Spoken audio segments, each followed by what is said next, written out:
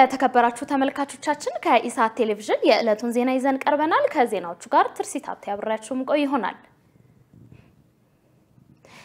ኢትዮጵያ ዓለም አቀፉ የቦንድ ገዢዎች በአንድ ቢሊዮን ዶላር የዩሮ ቦንድ አድዋ ላይ በቶሎ ስምምነት ላይ መድረስ እንደምትፈልግ ትናንት ማሳወቋ ተሰማ። ኢትዮጵያ ትናንት ለቦንድ ገዢዎች ያቀረበችው የመፍትሄ ሀሳብ ከሳምንት በፊት ለዋና ዋና የቦንድ ገዢዎች አቅርባ ውድቅ ከተደረገባት ጋር ተመሳሳይ መሆኑን ዘገባው ጠቅሷል። ሆኖም ሀገሪቱ ወለዱን ባትከፍል ከስምምነት በኋላ የሚሰጡ የቦንድ ብድሮች በቦንድ ገዢዎች ላይ ለሚያስከትሉት ኪሳራ ማካ ካሻ የሚሆን ሀሳብ አቅርባለች ተብሏል። ኢትዮጵያ የዩሮ ቦንድ ገዢዎች የዕዳ ክፍያውን ሌሎች አበዳሪ ሀገራት ከሰጧት ጊዜያዊ የዕዳ መክፈያ ጊዜ የማራዘም ውሳኔ ጋር እንዲያጣጥሙላት ስለመጠየቋም ዘገባው አመላክቷል።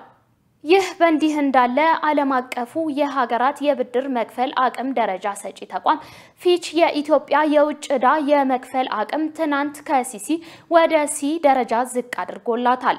ተቋሙ የሀገሪቱን የብድር መክፈል አቅም ወደ ሲሲ ያወረደው ባለፉት ህዳር ነበር። ፊች ለኢትዮጵያ የብድር ከፋይነት አቅሟ የሰጣትን በድጋሚ ደረጃ ዝቅ ያደረገው ሀገሪቱ የውጭ ዕዳዋን የመክፈል አቅሟ ጨርሶ ሊሟጠጥ የሚችልበት እድል መኖሩን በመጥቀስ ነው። አገሪቱ ካለፈው ሰኞ ጀምሮ ባሉት 14 የእፎይታ ቀናት የዩሮ ቦንድ ወለድን ካልከፈለች ፊች የዕዳ ከፋይነት ደረጃዋን ወዳልተለመደው አርዲ ደረጃ ዝቅ አድርጋለሁ ብሏል። የጋዜጠኞች ያለመከሰስ መብታቸው እንዲከበር ከሰብአዊ መብት ተሟጋቾች ድርጅቶች ጋር በጋራ እየተሰራ እንዳለ ተገልጿል። የኢትዮጵያ መገናኛ ብዙሃን ምክር ቤት እንዳስታወቀው ምንም እንኳን ቀሪ ስራዎች ቢኖሩም ጥረት እያደረገ እንዳለና ጋዜጠኞች ካለመከሰስ መብታቸው ጀምሮ በነፃነት እንዲሰሩ መብታቸው እንዲከበር ከሰብአዊ መብት ተሟጋች ድርጅቶች ጋር በጋራ እየተሰራ እንዳለ ገልጿል። አሁን በእስር ላይ ካሉ ጋዜጠኞች ጋር በተያያዘ መግለጫ ማውጣት ጀምሮ ጥያቄ እያቀረበ ነው ያሉ ሲሆን ምክር ቤቱ የሚሰራው ግን ፍቃድ አውጥተው ለሚሰሩትና ለምክር ቤቱ አባል ለሆኑ ብቻ ነው ሲል አስታውቋል። ምክር ቤቱ አልፎ አልፎ ፍቃድ ሳይኖራቸው በአክቲቪስትነት የሚሰሩና ሙያዊ ስነ ምግባር ጥሰት የሚፈጽሙትን እንደማይመለከተው መግለጹ ተዘግቧል። በአሁኑ ወቅት በተለያዩ ምክንያቶች ሀምሳ የሚሆኑ ጋዜጠኞችና የማህበራዊ ሚዲያ አንቂዎች በእስር ላይ እንደሚገኙ ይታወቃል። በኦሮሚያ ክልል በቄለም ወለጋ ዞን የሚገኘው የደንቢ ዶሎ ዩኒቨርሲቲ የመማር ማስተማር ስራውን ካቋረጠ ሶስተኛ ቀኑን ማስቆጠሩ ተሰማ። የአካባቢው ምንጮች እንዳስታወቁት ዩኒቨርሲቲው የመማር ማስተማር ሂደቱን ያቆመው ተማሪዎች የመንግስት ጸጥታ አካላት በዩኒቨርሲቲው ግቢ ውስጥ ሳይቀር በየጊዜው ይፈጽሙብናል ያሉት የጅምላ እስርና ማዋከብ እስኪቆምና የታሰሩ ተማሪዎች እስኪፈቱ የትምህርት ማቆም አድማ ማድረጋቸው እንደሆነ ተሰምቷል። የመንግስት ጸጥታ ኃይሎች ባሻቸው ጊዜ ወደ ዩኒቨርሲቲ ቅጥር ግቢ በመግባት የሚፈልጓቸውን ተማሪዎች ይዘው እንደሚሄዱ የጠቀሱት ምንጮቹ ይህም በሌሎች ተማሪዎች ላይ ከፍተኛ የደህንነት ስጋት እንደፈጠረም ገልጸዋል። ተመልካቾቻችን በዚህ ጉዳይ ላይ ተጨማሪ መረጃ በማጠናከር በማታ የዜና ወጃችን እንመለስበታለን። በደቡብ አፍሪካ የኢፌዴሪ ኤምባሲ አስተባባሪነት በአባይ ናይል ውሃ ዙሪያ ምርመራና ጥናት ከሚያደርጉ ኢትዮጵያውያንና ትውልደ ኢትዮጵያውያን ምሁራን ጋር ውይይት ተካሄደ። ውይይቱን በደቡብ አፍሪካ የኢፌዴሪ ባለሙሉ ስልጣን አምባሳደርና ልዩ መልእክተኛ ክቡር አምባሳደር ዶክተር ሙክታር ከድር የመሩት ሲሆን የአባይ ውሃ አጠቃቀም ዙሪያ ምርምርና ጥናት የሚያደርጉ ኢትዮጵያና ትውልደ ኢትዮጵያውያን ምሁራን እንዲሁም የሚስዮኑ ዲፕሎማቶች ተሳትፈውበታል። በወቅቱም ኢትዮጵያ ከውሃ ሀብቷ በዘላቂነት ተጠቃሚ ስለምትሆንበት ሁኔታ ውይይት ተደርጓል። ድንበር ተሻጋሪ ወንዝ ባለበት አካባቢ ሀገራት ሊከተሉትና ሊጠቀሙበት ስለሚገባ የትብብር አይነትና ዘላቂ ተጠቃሚነትን በተመለከተ ምሁራኑ ያከናወኗቸውን ጥናቶች መሰረት በማድረግ ማብራሪያ ሰጥተዋል። ይሁንና አሰራር በመጠቀም ሀገራችን የተሻለ ተጠቃሚ እንድትሆን ምሁራኑ ልምዳቸውን በሚያካፍሉበትና በጋራ በሚሰሩበት ሁኔታ ላይ ውይይትና የሀሳብ ልውውጥ ተደርጓል። በዘርፉ ሰፊ ምርመራ በማድረግ የሚታወቁት ፕሮፌሰር ማሞ ሙጬና አቶ ኪዳኔ አለማየሁን ልምዳቸውም ያካፈሉ ሲሆን በጉዳዩ ላይ ከኤምባሲው ጋር በቀጣይነት መስራት እንዲሁም የተሻለ ልምድ ካላቸው የደቡባዊ አፍሪካ ሀገራት ተሞክሮ መለዋወጥ በሚቻልባቸው ሁኔታዎች ላይ የበኩላቸው አስተዋጽኦ ለማበርከት ዝግጁ መሆናቸውን ገልጸዋል።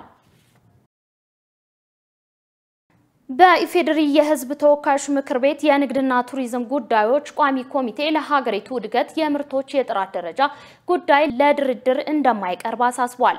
የቋሚ ኮሚቴ ሰብሳቢ ወይዘሮ አሻ ያህያ ሀገሪቱ በቅርቡ ወደ ዓለም ንግድ ድርጅት የምትቀላቀል በመሆኑ በዓለም አቀፍ መድረክ ተወዳዳሪ ሆኖ ለመገኘት ደረጃውን የጠበቀ ምርት ማቅረብ የግድ መሆኑን ገልጸዋል። ለዚህም የኢትዮጵያ ደረጃዎች ኢንስቲትዩቱ ከአራቱ የጥራት መሰረተ ልማቶች ውስጥ አንዱ በመሆኑ ጥራት ላላቸውና ተወዳዳሪ መሆን ለሚችሉ ምርቶች ደረጃዎችን የማዘጋጀት ከፍተኛ ኃላፊነት እንዳለባት ነው ያመላከቱት።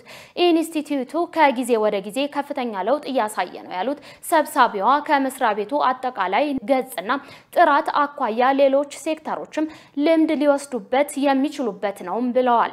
ኢንስቲትዩቱ የራሱን አቅም ለማጠናከርና ያለውን የሰው ኃይል ለማቆየት የሚያስችሉ አዋጅና ደንቦች ጸድቀው ወደ ስራ ባለመግባቱ መቸገራቸውን ጠቁመዋል። ከሚመለከታቸው አካላት ጋር በመነጋገርም ችግሮቹ እንዲፈቱ ቋሚ ኮሚቴው የበኩሉ ጥረት እንደሚያደርግ ጠቁመዋል። በአፍሪካ የሚያጋጥሙ የደህንነት ስጋቶችን ለመቀልበስ የጋራ ትብብር እንደሚያስፈልግ ተገለጸ። የኢትዮጵያ አየር ኃይል 88ኛ ዓመት የምስረታ በዓል በመስዋዕትነት አገርን ያወጀ የኢትዮጵያ አየር ኃይል በሚል መሪ ሀሳብ እየተከበረ ይገኛል። የመርሃ ግብሩ አንድ አካል የሆነው የአፍሪካ አየር ኃይል አዛዦች ፎረም በመካሄድ ላይ ነው። በፎረሙ የአፍሪካ ሀገራት አየር ኃይል አዛዦች፣ የተለያዩ ሀገራት አቪዬሽንን ተቋማት ኃላፊዎችና ወታደራዊ አታሼዎች ተገኝተዋል። የኢትዮጵያ አየር ኃይል ዋና አዛዥ ሌትናል ጄኔራል ይልማ መርዳሳ በዚህ ጊዜ እንዳገለጹት ኢትዮጵያ የረዥም ዓመት ታሪክ ያላትና ቅኝ ያልተገዛች ሀገር ናት ብለዋል። አያይዘውም በአፍሪካ የሚያጋጥሙ የደህንነት ስጋቶችን ለመቀልበስ የጋራ ትብብር እንደሚያስፈልግ ተናግረዋል። አዲሱ የደቡብ ኢትዮጵያ ክልል 36.2 ቢሊዮን ብር የተሻሻለ በጀት አጸደቀ። ባለፈው ዓመት ነሐሴ በይፋ የተመሰረተው የደቡብ ኢትዮጵያ ክልል በስሩ ያሉ መዋቅሮች ያደረጉትን የአደረጃጀት ለውጥ ታሳቢ ያደረገ የተሻሻለ በጀት አጽድቋል። የክልሉ ምክር ቤት ታህሳስ አራት ባካሄደው መደበኛ ስብሰባው ለክልሉ መንግስት የ2016 እቅድ ማስፈጸሚያ የሚሆን 36.2 ቢሊዮን ብር በሙሉ ድምፅ አጽድቋል። የደቡብ ኢትዮጵያ ክልል በህዝብ ውሳኔ ከቀድሞ የደቡብ ብሔር ብሔረሰቦችና ህዝቦች ክልል በተነጠለበት ወቅት ለነባሩ ክልል ተመድቦ ከነበረው በጀት ውስጥ 54.24 በመቶ ድርሻ እንዲያገኝ ከስምምነት ተደርሶ ነበር። በዚህ ክፍፍል መሰረት ክልሉ 11 ቢሊዮን ብር ያህል በጀት ይዞ ይፋዊ ምስረታውን አከናውኗል። የውጭ ዜና ሐማስን ለመደምሰስ ከጥቂት ወራት በላይ ሊወስድባቸው እንደሚችል የእስራኤል መከላከያ ሚኒስትር ዮኤቭ ጋላንት አስታወቁ። ሚኒስትሩ ረዥም ጊዜ የሚወስድበትን ጦርነት ይሆናልም ተብሏል። እስራኤል በጂኒን ለ60 ሰዓት ፈጽሟለች በተባለ ድብደባ 11 ፍልስጤማውያን ለህልፈት ከተዳረጉ በኋላ ተልኳን ማጠናቀቋን ተጠቁሟል። በሌላ በኩል ወታደራዊ ኃይሉ ቀደም ሲል በተቆጣጠረው ዌስት ባንክ ሌሊቱን ተጨማሪ ጥቃት መፈጸሙን ተነግሯል። የአሜሪካ ፕሬዝዳንት ጆ ባይደን አሁን አሁንም እስራኤል ንጹሐንን እንዴት ማትረፍ እንዳለባት ትኩረት እንድታደርግ አሳስበዋል። እንደ ዘገባው ከሆነ በጦርነቱ ምክንያት አሁንም በጋዛ የግንኙነት መስመሮች ተቋርጠዋል። መረጃዎች እንደሚያመለክቱት እስካሁን በፍልስጤም የሟቾች ቁጥር ቢያንስ 18787 ሲደርስ ከእስራኤል በኩል የ1147 ሰዎች ሕይወት አልፏል ተብሏል። ሩሲያ ከዩክሬን ጋር ሰላም የምትፈጥረው ወደ ጦርነት ያስገቧት ጥያቄዎች ሲመለሱና ግቧ ሲሳካ ብቻ ነው ሲሉ የሀገሪቱ ፕሬዝዳንት ቭላዲሚር ፑቲን ገለጹ። ፕሬዝዳንት ፑቲን ይህንን ያሉት የሩሲያ ዩክሬን ጦርነት ከተጀመረ ወዲህ ረዥም ጊዜ በወሰደው የዜና ኮንፈረንስ ላይ ባቀረቡበት ወቅት ነው። የፕሬዝዳንቱ መግለጫ በዩክሬን በሚካሄደው ልዩ ዘመቻ ላይ ያተኮረ ሲሆን በሁሉም ግንባሮች ያለው ጦርነት በጥሩ ሁኔታ ላይ እንደሚገኝ አንስተዋል።